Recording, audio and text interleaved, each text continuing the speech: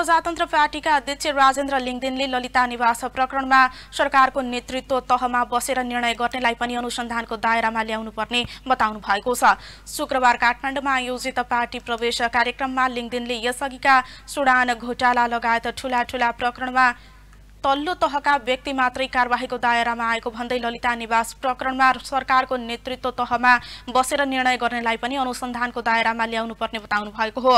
राप्रपा पूर्ण रूपमा सुशासनको पक्षमा रहेको भन्दै लिङदेनले नक्कली भुटानी शरणार्थी र ललिता निवास प्रकरणको निष्पक्ष छानबिन गर्दै सबै दोषीहरूलाई कारवाहीको दायरामा ल्याउनु पर्ने बताउनुभयो। त्यस्तै उहाँले मुलुकमा भ्रष्टाचार वैदेशिक हस्तक्षेप बढ्दै गएको र भ्रष्टाचारको डङ्गुरमाथि बसेर देशका शासकहरू शुद्धता को मन्त्र उच्चारण गरिरहेको टिप्पणी गर्नुभयो। लिङ्दिनले ठूला भ्रष्टाचारका प्रकरणमा अनुसन्धान सुरु भएपछि सरकारमा बस्नेहरूले जस लिन खोजेको र अर्को पछि आफ्ना मान्छेहरूलाई जोगाउने कसरतमा लागेको जिकिर गर्नुभयो। मुलुकमा ठूला ठूला परिवर्तन भए पनि गणतन्त्रको नाममा लुटतन्त्र चलिरहेको भन्दै उहाँले देश र धर्म सङ्कटमा रहेका बेला यसलाई जोगाउने काम राप्रपाले गर्ने बताउनुभयो।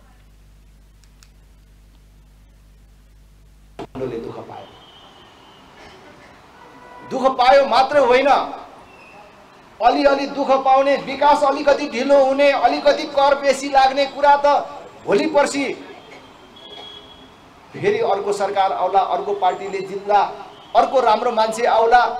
त्यसलाई ठिक लगाउन सकिएला ठिक ठाउँमा ल्याइएला। तर पहिचान समाप्त हुने परिस्थिति बन्यो।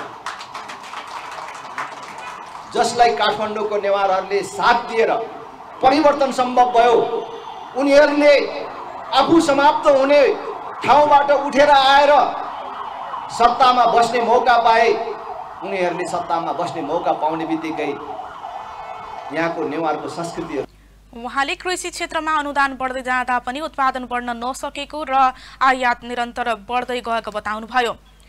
कार्यक्रममा विभिन्न पार्टीबाट आएका नेता कार्यकर्तालाई लिङ्गदेनले पार्टी प्रवेश गराउनु भएको थियो।